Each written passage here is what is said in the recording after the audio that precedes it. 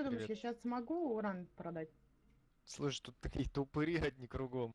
Да? Главное на двух упырей не, напри... не на Париж, на гремлина и на А Серега, если я на, помогай. вер- на вертолете? Серега, Сможешь, а че нет? Я ж только долететь. меня вырубил Макс, быстрей.